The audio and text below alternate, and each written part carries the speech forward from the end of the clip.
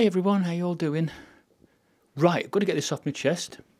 You'll notice behind me, you've got Nigel Farage, you've got Boris Johnson. So why am I standing them next to each other like this? Well, it's simple. One of them has claimed responsibility for another one's hard work. Who do you think that one is? It's Bojo, of course. Nigel Farage was campaigning vigorously for 10 years to get the UK out of the European Union and gave all the reasons under the sun as to why we should be leaving the European Union at that time. Mainly because the European Union were not exactly straight and true. But Boris Johnson saw an opportunity.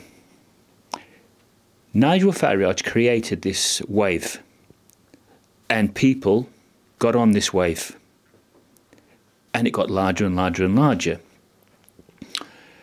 And it was this momentum that Boris saw. And he then thought, what an opportunity this is for me. And he hijacked Nigel Farage's hard work, his 10 years of campaigning, culminating in uh, having to stand down his candidates because he knew very, very well that he would have split the vote. And Nigel did not want this. So he stood down his candidates, and this allowed Boris Johnson to get in. If Nigel had been selfish, which he wasn't, but had he have gone down the selfish route, it's likely that the Lib Dems and Labour would have been in. So Boris Johnson is not a good Prime Minister. What he is, he is someone who sees an opportunity and doesn't mind claiming credit for someone else's diligence and hard work. In this case, it was Nigel Farage's hard work, which Boris hijacked. Now, I don't know the man personally, but I do know that if you bring in his personal life, which I think at this stage now, it's only fair we do, there was evidence that he was never a trustworthy person. But people gave him the benefit of the doubt. And what did he do? He failed to deliver. He failed to deliver on the basic things like can he be trusted? And now we know he can't be. And he could never be trusted. And Dominic Cummings was right about him. Dominic Cummings obviously was on the inside, the inner circle, and he knew what a buffoon and absolute fool Boris Johnson was. He knew that his, bust, his bluster and his um, bungling personality was him in a way, but also an act. It was an act to hook people. And he was nothing more than a distraction. And you could say the same about Biden. He's a he's a fool. We all know he is. He, he has Alzheimer's. He can't string his words together. And yet, they keep pushing him forward, don't they?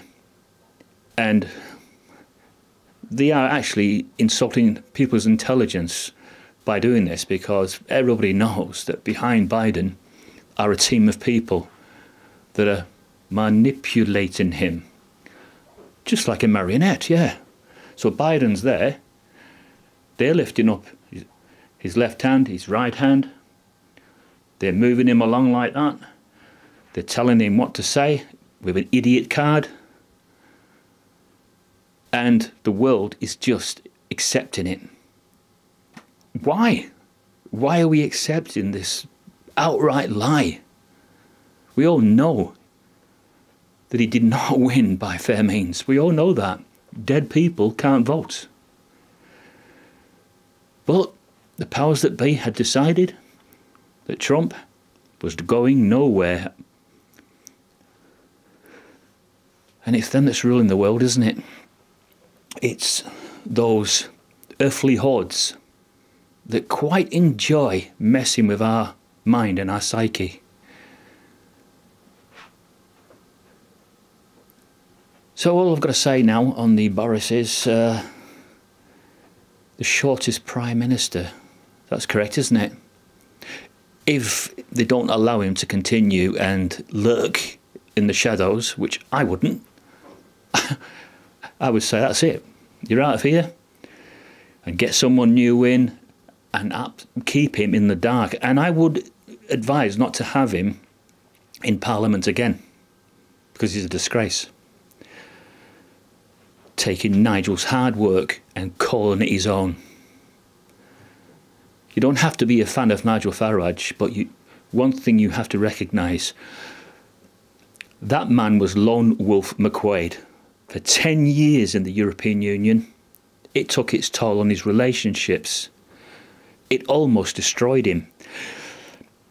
But he knew the European Union could not be trusted he knew we'd be better off away from them. And he sacrificed 10 years of his life to achieve that. But then we have a fool come along and just take the best bits of what he can use to win over the British people, the best bits, and throw the rest back at Nigel. And that's the kind of person that Boris was. Not very nice. Thank you.